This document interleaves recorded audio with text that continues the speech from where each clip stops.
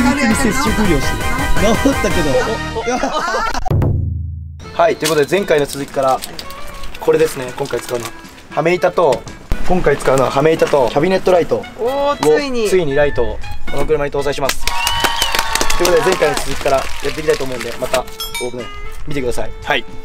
はい。ということでこっち側も挟んだんですけどこれ 12mm の合板の余りでここちょっとここ本当は間あったりするんですよ間ってい。うかなんだもうちょい出てるというか、天井に近くないんですけどこれ天井に近いんでここに一回木をこれ結構曲がるんでこいつをかませてこっちからこの木に天板を取り付けていきたいなと思ってやりたいと思います。はいということでねまず先にやっぱこっちのねライトを位置決めしたいと思います。中心から亀板を今2枚あるんですけど左に4枚目に2個開けて2個ん？中心に2個。でその左右にねキャビネットライト6個つけたいと思うんですけど今間隔をね測ってしっかり位置を出してつけたいと思います。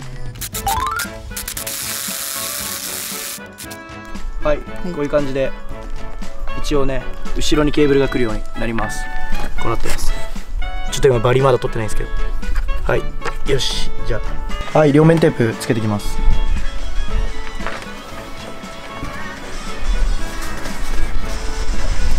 この両面テープはライトに付属されてるんで。結構いいですね。でこれビスもついてるんで両方一応両面テープとビスやっときます。はーい。こんな急いでやるもんじゃないですよ DIY は。普通は。ちょっと注文的には3日で完成させそうでてすなんか鬼みたいな鬼みたいな注文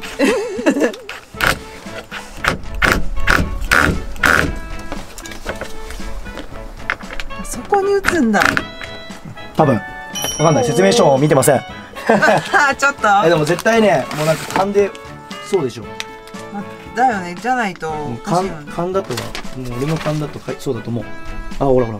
そうそうそう。やっぱりね。合ってました。合ってました。よかった。怖っ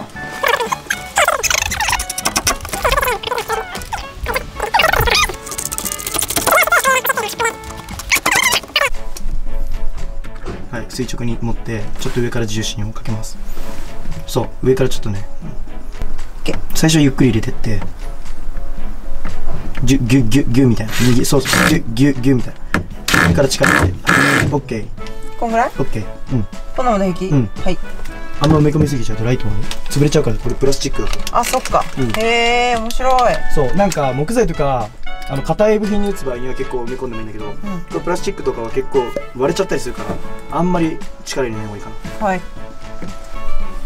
はいそれでは点灯確認さしてじゃあ今 AC 入ってるんであとはスイッチ入れれば普通使うはずです。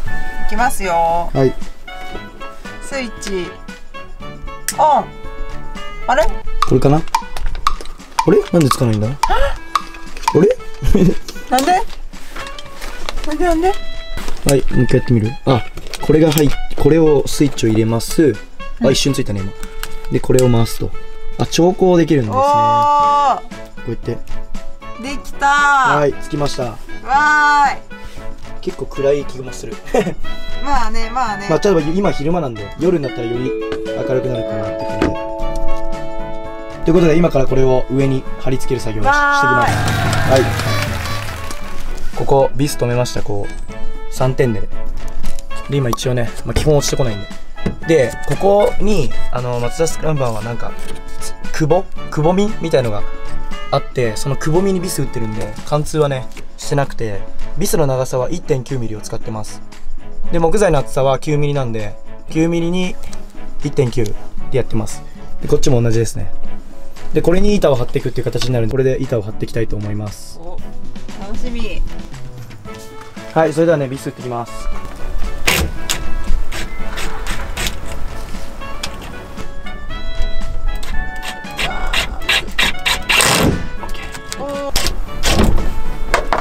おおいギャむずいよな上に打つの。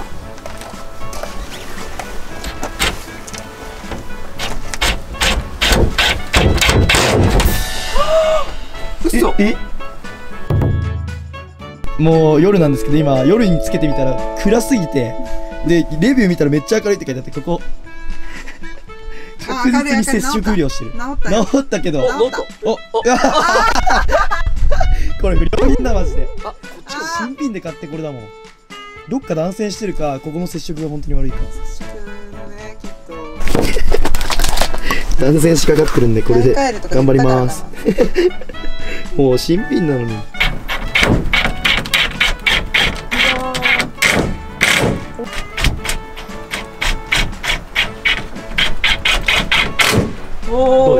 さっきこれでもう取れてきちゃったんですけど。あ今じゃあやっぱ木材。すごいね。頑丈だね。リスさっき19ミリ使ったんですけどちょっと短くて届かなかったんで。落ちてきた今回これ25ミリ買ってきました。これです。25ミリで。今板挟んでるんでだいたい天井の板とはめ板で約18ミリなんで6ミリぐらい上出ちゃうんですけどギリ大丈夫でした。これにすごーやばい濃くなってきてるごめんだけど手際が大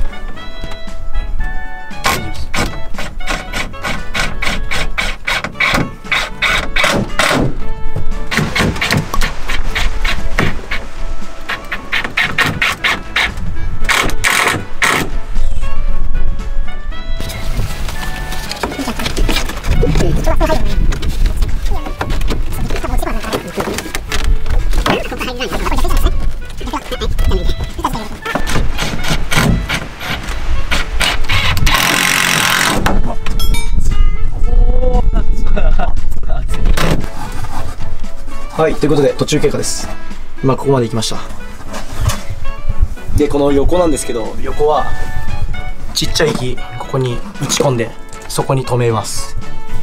ちょっとうまくいくかわかんないんですけど。で、配線もね、束ねて、こっちに入れます。これをお、来た。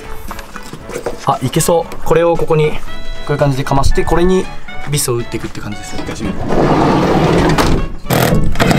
さすが。あダメだ。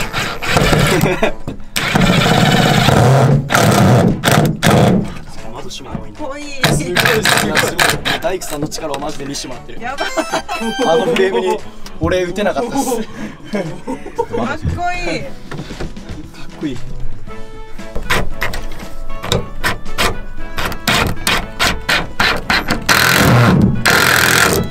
おー。来たかっこいいー。はいドリルベースパー完了です。はい。結構がっちりだまあもし皆さんにやる場合絶対これ下開けた方がいいです。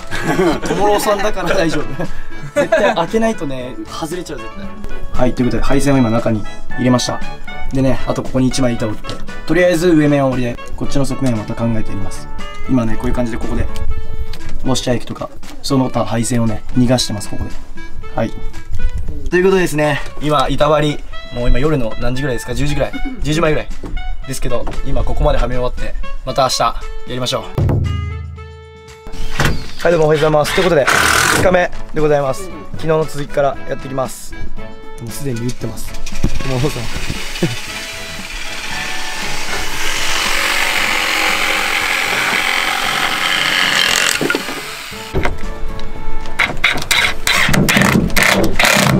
はいここはここにスペーサーをかまして3枚。あの 9mm の板を3枚かましてます。で今ちょうどここで打てるようにしてます。やっぱここカーブで一番難しいんでここだけしっかりやっていけやっていけたら。下もうまくいくんで。ここ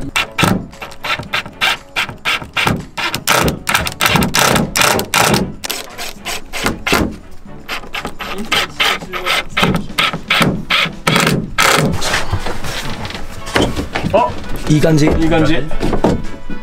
もっと上真ん中上げたいからハンマーで軽くなる感じ。あでももうちょっと上げたいな。俺ここがでしょ。まあどう？この隙間お手伝いしてくれる人の人数がやばいです123今6人来て。る K1 に6人よろしく頼むってこと。は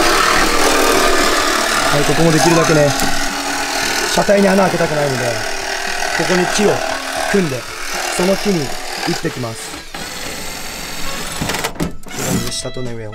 もうこのコンパネで薄いんですけど、まあ、止まればいいと思うんでそれで作ってきます。怖いな。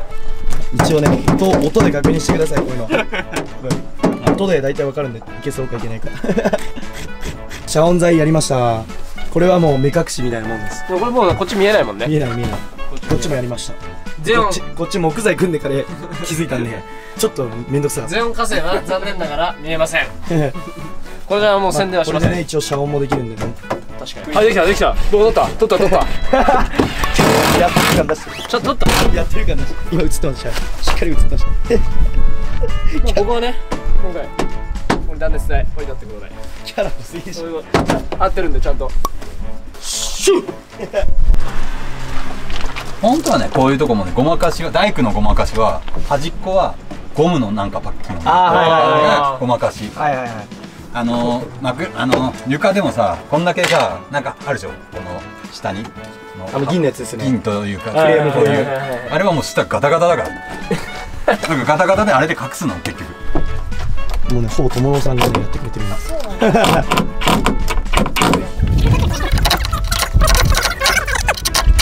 現場にね差し入れ来たんで。イエーイ。食リポ期待。ああたこ焼きです。うまいでも。美味しい。うまい。今塩味で今さっぱりしてていいですね。結構熱いんで。ありがとうございます。ありがとうございます。助かりました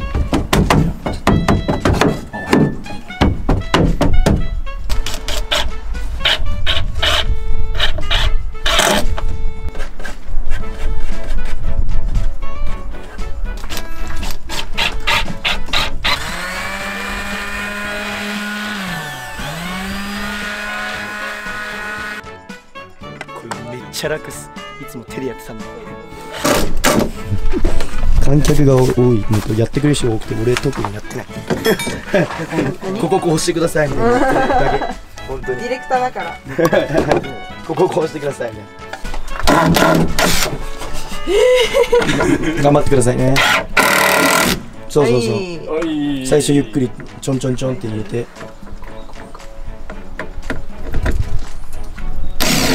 えー、えこれ結構むずい。そうゆっくりそうそうそう。ちょっとね証拠が弱いかな。